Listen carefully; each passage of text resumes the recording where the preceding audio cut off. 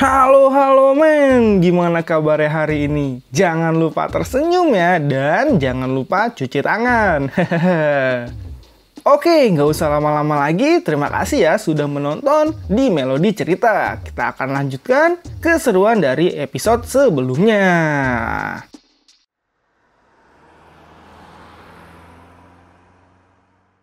Oke kawan, kita mulai perjalanan imajinasi cerita ini. Aktifkan imajinasi kalian ya.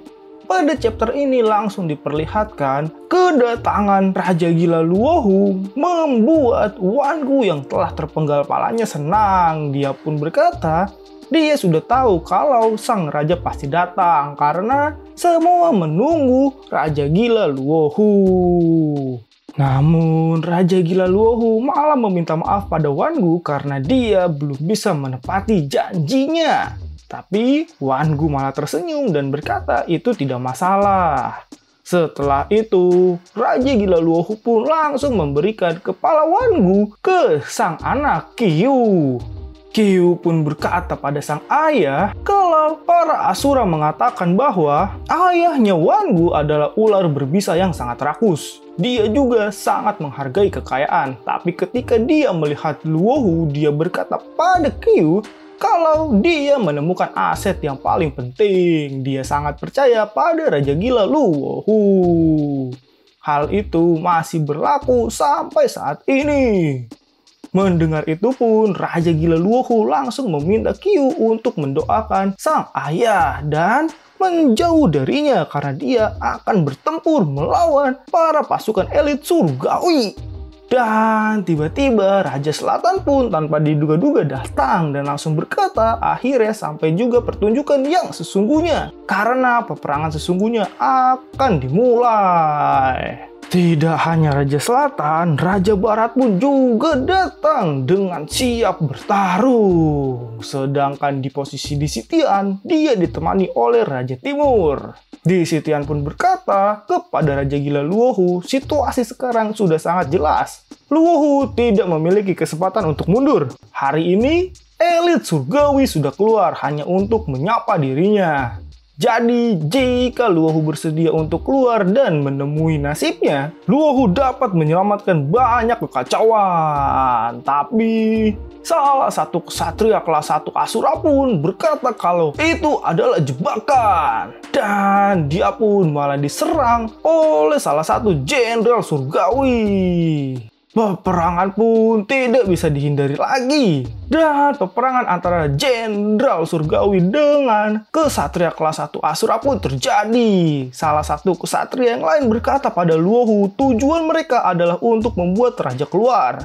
Luka raja tidak sembuh. Bukankah itu sama saja bunuh diri?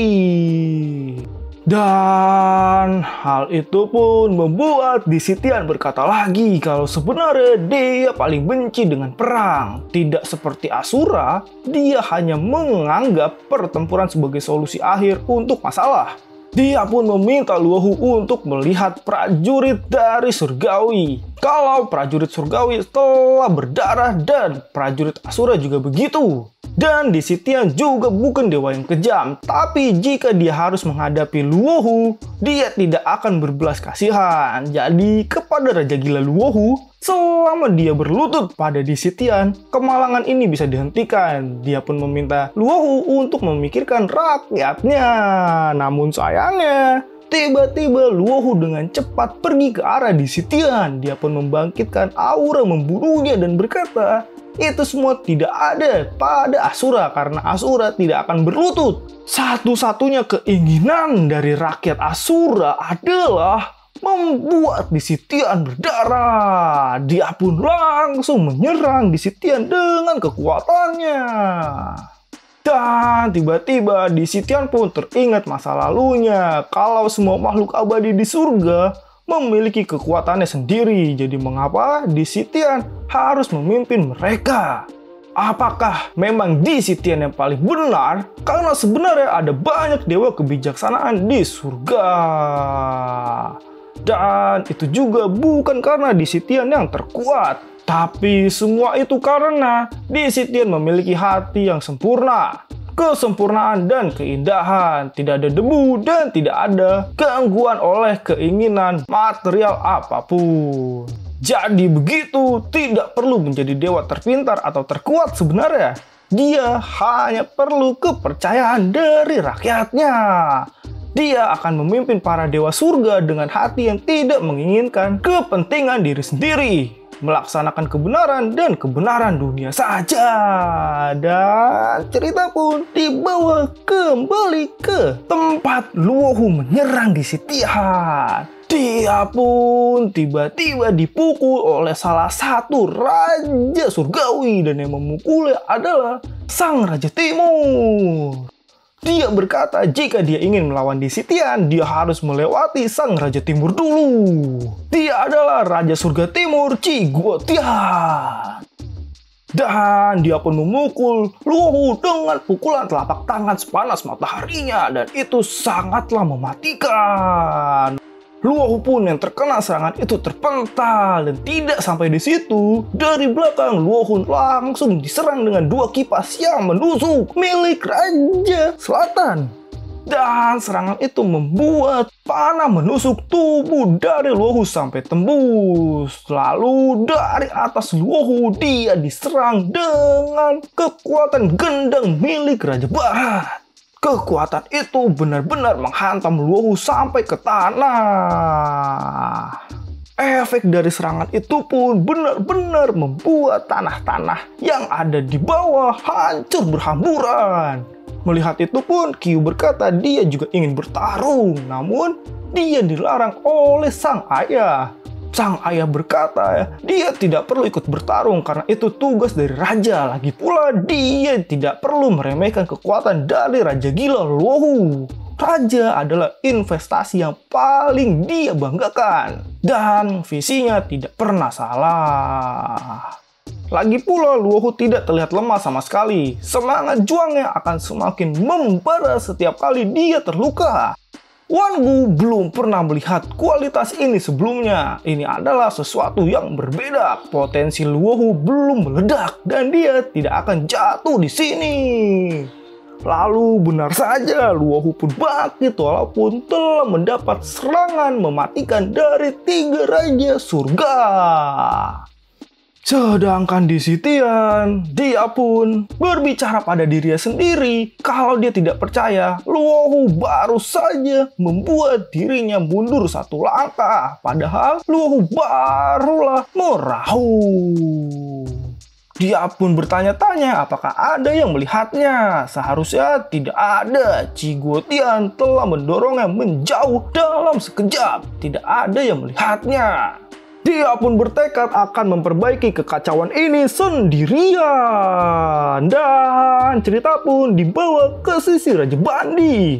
Di sana Raja Bandi sedang menghabisi semua para pasukan dewa dengan racunnya. Dia pun sangat terlihat senang karena banyak ribuan dewa yang mati di tangannya. Sebenarnya ini adalah cara yang agak menyakitkan untuk mati. Lagi pula mereka sendiri yang memintanya dan tiba-tiba Tepat di belakang Raja Bandi datanglah satu pasukan surgawi yang menyerangnya. Namun untungnya dewa itu ditangkap oleh salah satu pasukan Asura dan dia langsung ditusuk tepat di belakang badannya sampai tembus. Kesatria itu pun berkata dia baru saja kembali dari Departemen Raja Gila. Dia melaporkan situasi di sana sangatlah buruk kekuatan pasukan yang dikerahkan oleh Surgawi sangatlah besar. Bahkan Kaisar Disitian juga turun tangan. Informasi yang dikumpulkan adalah mereka ingin mengalahkan Raja Gila Luohu dan menyerang semua Asura. Mendengar itu pun, Bandi bertanya-tanya apakah karena Luohu yang paling lemah dan dari mana Surgawi tahu informasi itu. Lalu, Kesatria Asura itu pun meminta izin pada Bandi kalau dia akan menjelajah ke suku lainnya untuk melihat kondisi mereka. Dia berharap Bandi sukses dalam pertempuran ini.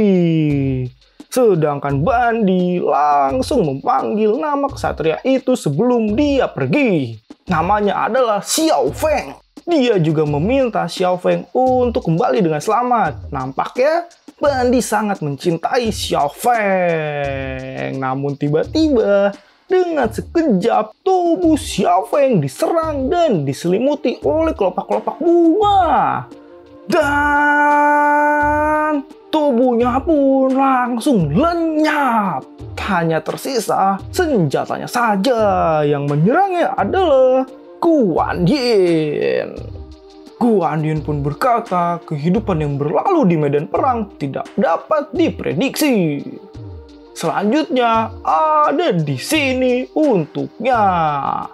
Sedangkan Bandi yang melihat itu hanyalah bisa berteriak. Dia tidak menyangka kalau Xiao Feng dapat dikalahkan dengan semudah itu. Padahal dia mencintai Xiao Feng. Namun sayangnya cerita pun selesai sampai di sini kawan. Hmm, menarik nih pertempurannya makin menggila nih.